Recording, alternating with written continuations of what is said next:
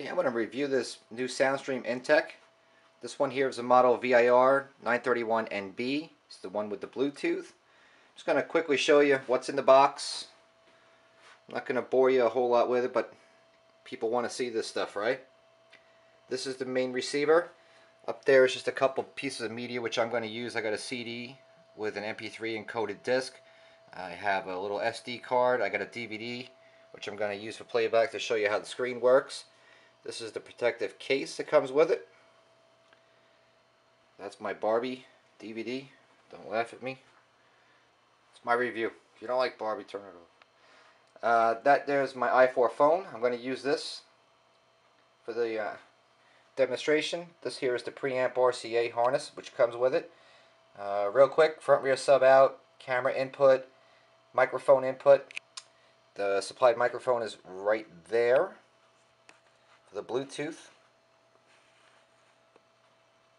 Also, they got the set of earbuds. Well, actually, I'm sorry. I think the earbuds come with the... Uh, no, I'm sorry. I'll take that back. The earbuds come with this unit. Because I also have um, a separate optional kit there. It's the uh, backup battery and the kickstand combo, which is right here. This is designed to be connected onto the back of the tablet when you remove it from the vehicle. So you could kind of use it like a little nook kind of deal. The earbuds, the mic, the preamp harness, also has a steering wheel interface plug for it as well. Over here, nothing too crazy. A couple screws and nuts and that. Back strap, a couple of trim rings so you can do a couple different ways of mounting it into your vehicle. Uh, real quick, I'll touch on this. This is the optional KS1. It's just the desktop kick. I call it the kickstand and it also has a, uh, a battery pack built into it. Comes with a AC charger and a DC charger. So let me go back to my little comfort zone, sit down, and I'll start this review for you folks right now. Oh, also, remote control. Almost forgot. So here we go. Okay, so I'm going to begin with the face panel removed. Here I have the screen. What this is, it's a 9.3 inch panel up on the top. There's four buttons for your power, volume, mute, and the eject or tilt button. The release button to take the panel off. Up here as well, there's an SD card reader. Left side, nothing. Bottom, nothing. On right side, we have a 3.5 millimeter and a USB, so you could use that for either an iPod sync type of cable, or you could use a supplied cable, which looks like this, it's actually a half of a pigtail, which these are the two sides that's going to go into the receiver. These two, which I'm using with my own 3.5 millimeter my sync cable to connect it to my iPhone. And I will be using an iPhone 4.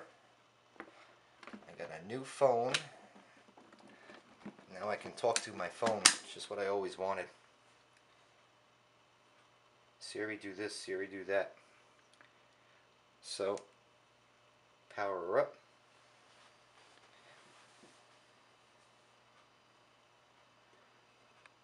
Let me just come in a little bit. Okay, good. Alright, so it starts out on the Bluetooth screen. Well, probably because I left it there. When you first get it, you won't have that. Now, up here, you're going to notice on the top, which I hit the home button, as to be expected, there's all your sources. And you can actually customize these icons. I'll show you that in a second because I was, of course, goofing around with this unit long before I started this video. And you could take these icons. If you don't want them here, you can move them up to the top like that and you can customize the bottom. So that way if you don't want to have a whole bunch of stuff that you just don't need or don't use for instance this model is a VR931NB so it's non-Bluetooth. Alright call me cheap. I don't know. Doesn't have Bluetooth but they have the BT model which you can get with the uh, built-in Bluetooth. Of course this one I'd have to get it optionally. The dimmer you know you might want that. If you don't you know, do what you want. Bluetooth USB for the side, of course. Setting screen. Say if you don't use that a whole lot, don't have a lot of need for it, drag it, bring it on up there. Settings, USB we've already seen. Your AM FM radio, your GPS.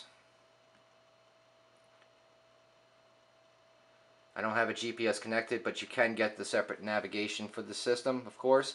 Um, another very cool thing about this is uh, anybody who's watching this video and who lives overseas, this thing will play PAL and NTSC, so you can use this for either region, which is pretty cool. Soundstream did a, a very smart thing because a lot of people buy stuff overseas because it's apparently super expensive. Over here, things are much cheaper, so they like to buy our stuff. Um, a lot of times people buy stuff from, from my, my site uh, only to find that they can't use it. The frequency steps aren't the same or they can't use the tuner or whatever. They get all uptight. This unit's not going to be the case. This one will actually work either scenario.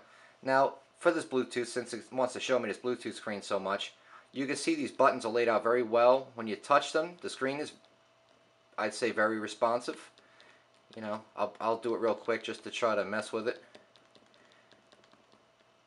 Very good. It's not the same feeling you would get like on an iPad or a Motorola Xoom or something like that. Um, it does have a little bit of a padding, like a cushiony type of a deal. I don't really know how to explain it, but it is responsive. It does work. It does what it's supposed to do. Um, so I have no problem. No complaints there.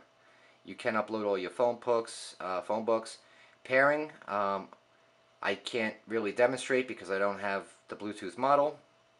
Um, but all the icons laid out very nice. Anybody can really understand what's going on here. Uh, TNC, I guess that's just going to have to be a, a mystery because I don't have a phone to connect them. Sorry. Not that that's a big deal. We're going to cover most of the stuff that's going to apply to this or the Bluetooth model. Alright, so um, let's just start by looking at some of the settings. Again with the Bluetooth. Maybe it just wants me to get the Bluetooth adapter. It's trying to tell me something. Now on your main settings screen, your sound, this of course is your fader and balance. Laid out, nice. Easy to follow. Buzzer, you know, so when you hit the button it goes deep, deep, you know, that kind of thing. Subwoofer, I do have a test speaker connected so that way you actually get to hear it as well as see it. I didn't do this in some of my prior videos and I'm trying to do better. Trying. Anyway, this is going to relate to the frequency low pass uh, crossover filter on this receiver. I don't know what the heck is this thing's going to this Bluetooth for so much. Maybe I should just get rid of it. Maybe it'll go away. Let's try that. Goodbye.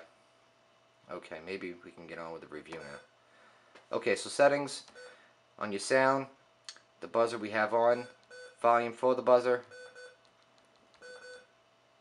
Not bad, right? Subwoofer filter, so if you wanted 80, 80 hertz and lower to pass through, 120, 160, and off. So the lowest you're going to go is 80. Um, I would like to see it be a little bit lower, you know, if it went to around 50 or so, I think that would be a nice touch. But I, but again, with this Bluetooth, um, I personally like to tune my my boxes a little bit lower. But I guess if you have an amplifier for a sub, of course you're going to have a low pass filter on there, so you could set it as high as you want at 160 because your amp's going to get the last word in the, in the case anyway. But at least now you know. So your setting for your sound we went over, your EQ, bass and treble, nothing really too exciting going on there. Get the extra bass, the loudness feature for lower volumes will give you a higher bass response. You got presets for rock, classic, pop, user, you know, you only have two settings to create for a user, so that's, you know, eh. Not too crazy about that. Your clock, actually when you hit this, it looks nice. I like that. It looks like a Tag Heuer watch. You got 12 hour and you got 24 hour mode. You military types. Talk about easy to program the clock. I mean, any any doofus could do this.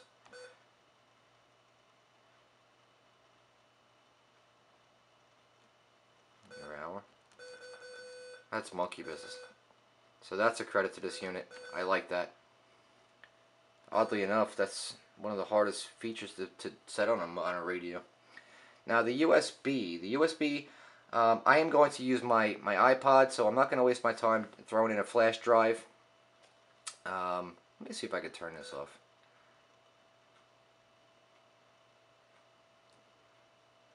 Hmm. See, I'm learning this for the first time as I go, so bear with me. I don't know why that Bluetooth is doing that to me so much. I don't know. But USB, we're not going to touch on that. As for your radio, nice, bright. What's not to like? Your presets are laid out very nice. Like you got the little notebook tabs going on there. Now let's see what we got here for bands. We have FM2, FM3, AM1, AM2. Okay, so you got 12 presets for AM, you got 18 for FM. Pretty typical. What radio doesn't have that? This is no exception.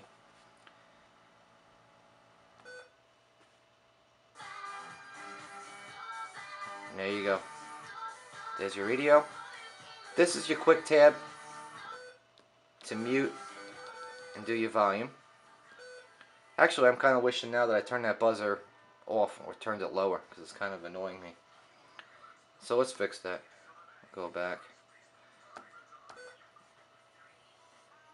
Where was it? Sound? No. No. Clocks. It must have been system. Oh, I forgot where it was.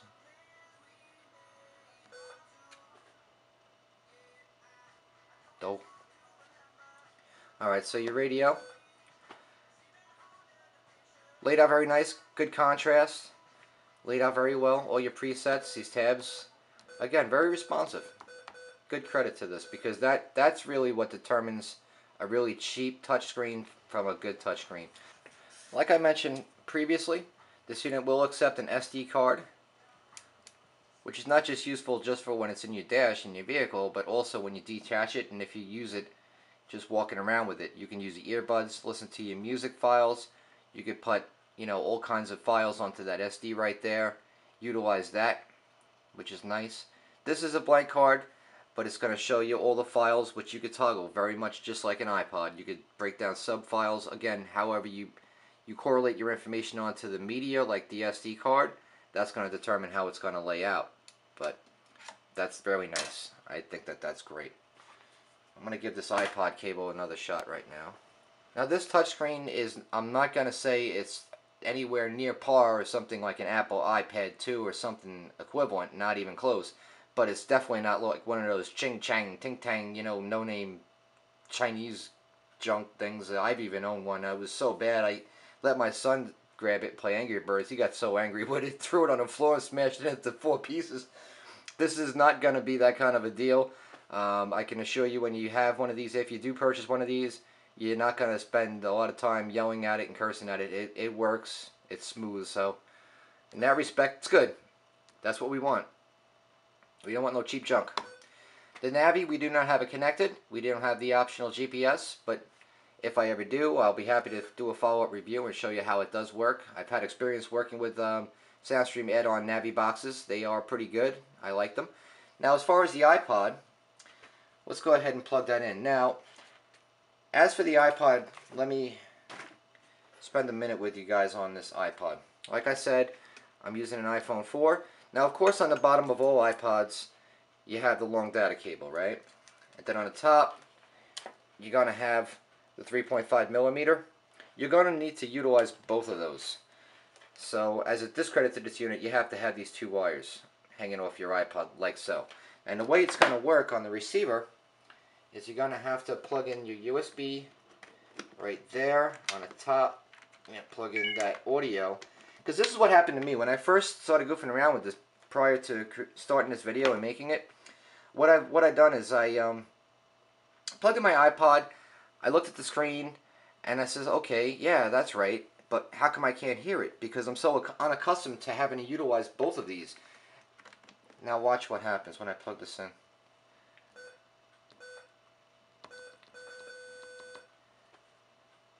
Um, is it playing? Some pause play.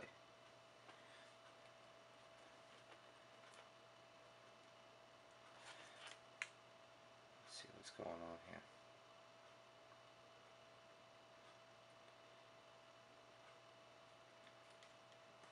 Okay. Plug her in. Make sure all my connections are tight. Okay. Okay, it said authenticating. It's on stop. Now it's playing. That's interesting. Why I'm not hearing it. It was working very well before. So I'm, I can only presume that it's something that I'm doing.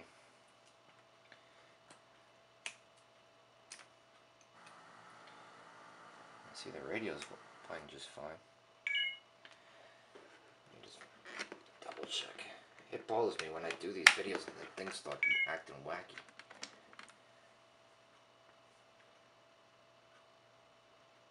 It bothers me, man. Let's try this.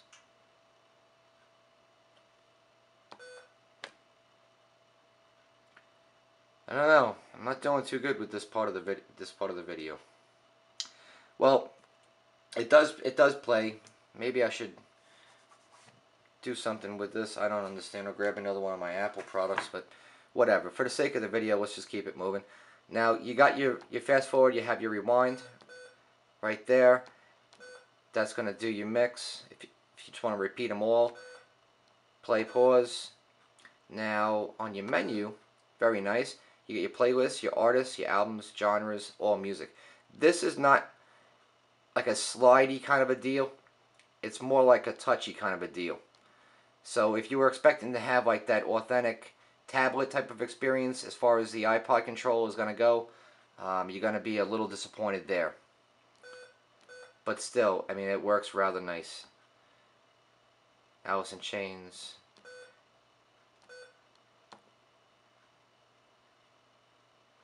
Playing song 2 or 3, repeat, all is on, that's fine. Lots of text. That's a good credit to this unit because even units that cost twice as much as this one right here do not offer that. And you're going to actually see something to its credit again when you when you watch the MP3 encoded disc and I'll show you that right now. So what I'll do is I'm going to unplug my iPod on both sides. I'm going to come back to it and hopefully when I do it works right. I can only imagine that it's something I'm doing because I know it was working awesome prior to starting this up. So I'm going to show you where you put the disc in and how that works. Right up on the top is a button, folds right out. There's your disc.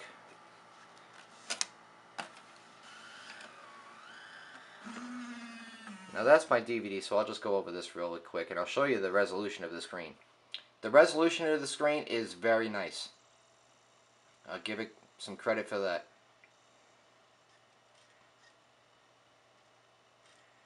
I'd have to say it's very comparable to, you know, a lot of um, tablets that I own in my own home. It's very good, very sharp.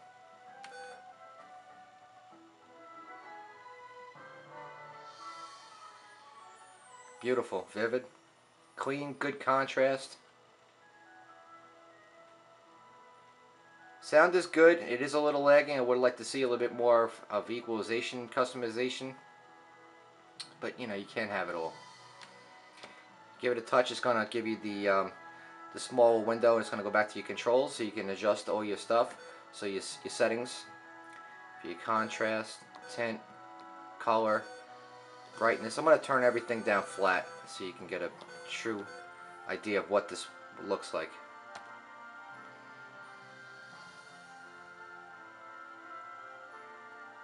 without trying to make it look any better. And this is an HD camera, so you should get a good idea of what you can expect to see when you own one of these.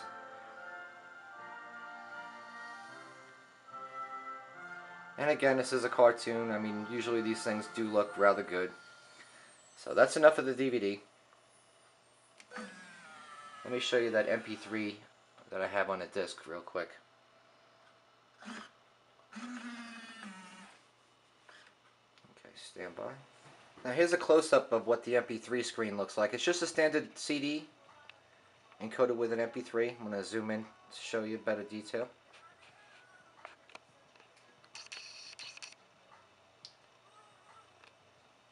It's nice. You can see that it's overlaying the information up on the top here.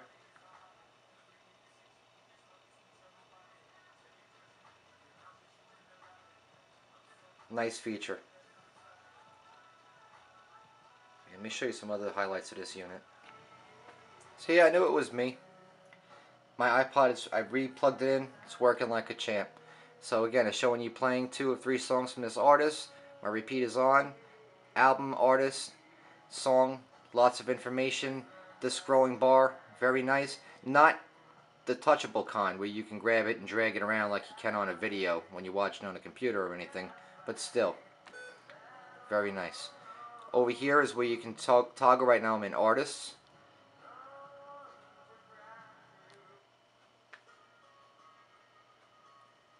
Very quick, very responsive.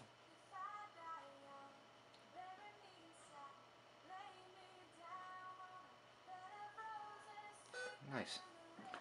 I'll try this remote now.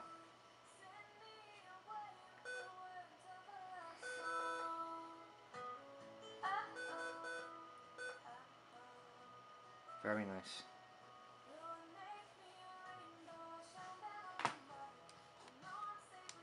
Now again, if you had your GPS system connected into this unit, you could have GPS going on in the background, you could have your MP3, and if you had the Bluetooth version, either with this model, with the optional Bluetooth adapter, if you had the BT model installed in your vehicle, you would have the ability to do all three simultaneously, which is a, a good attribute to the unit as well. So, so far this unit's doing pretty good. Again for the for the money and all these stuff that you're getting for your money it, it's it's looking pretty good to me. I could definitely say that any guy who just wants to buy it just for the coolness factor or just for a show off factor in itself is worth it. I mean it's it's a it's a real start. It's something really different you know to see. I mean when I first looked at it I was like what the heck is this? Don't get excited. It's not a Wi-Fi tablet or anything like that. It is still a car stereo but God knows what they'll create in the future what kind of updates or preceding models that they'll they'll have. But real quick, I'll go over everything, then I'll flip it around, show you what's going on in the back of this unit. We'll wrap this video up. So this is an LCD touchscreen. It accepts KS1, which is the, de the desktop media player, which is the piece that I was showing you before, which has a kickstand. Uh, the resolution is 800 by 480. Um, it has a motorized angle adjustment. Up on here, the same button you use to eject it, you can hold it and you can get several positions. Um, obviously the panel comes off like I showed you before. Uh, she will play a DVD-R, RW, CD-R, RW, MP3s, MP4s, DivX, and AVI. Now, they like to sell their IC3 iPod cable for this unit. I would not suggest it.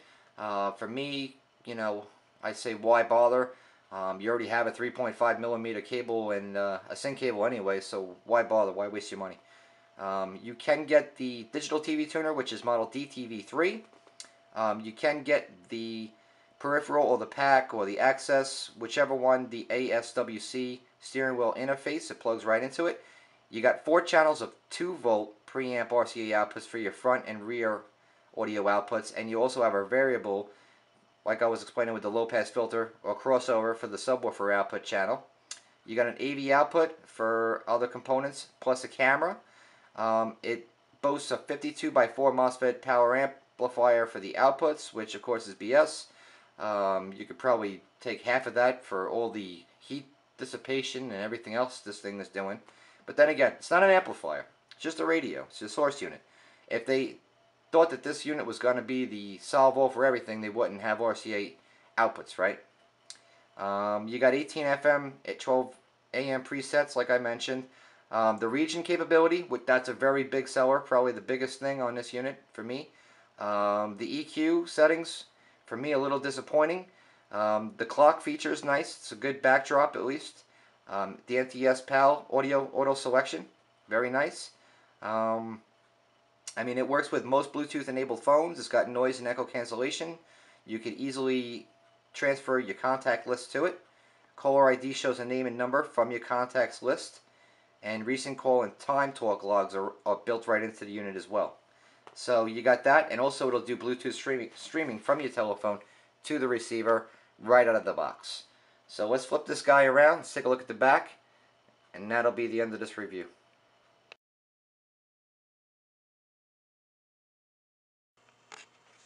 Okay, so there's the back of your receiver. Once again, this is your tablet. Nice and thin. Doesn't weigh much either. I'd say like maybe like, I don't know, maybe like a pound and a half. Easily bearable. And they give you that little case too. So that's nice. And in the back, nothing too crazy going on. Antenna. You got your 16 pin plug, power ground accessory, um, four sets of speaker outputs. You got your parking brake input. And on this one, you don't have to stress the fact of trying to get the ground when running. You can uh, basically just ground that that brake wire, watch video because we all know that's what you're going to do with it anyway. You have your illumination wire. Over here, you have your 2 volt preamps like I was explaining before. Plus you got a video output so you can have a slave monitor and feed the video from this front monitor to rear videos or flip down screens, whatever. Steering wheel control plug right there. Camera. Over here, that's your Bluetooth mic. That's your earbuds which come with it so you can plug that right into the, the uh, unit on the side. Like there. And that's it man. That's the new Soundstream VR931NB. Also covers these models. Uh, 738NB, 738NBT, 931NB, which is the one we're using right here, and the 931NBT. There you have it.